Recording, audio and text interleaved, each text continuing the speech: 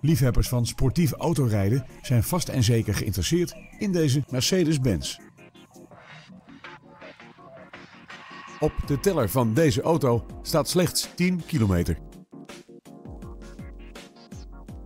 De krachtige benzinemotor staat garant voor uitstekende prestaties. In het sportieve interieur vinden we een elektrisch bediend schuifdak, elektrisch verstelbare voorstoelen en sportstoelen.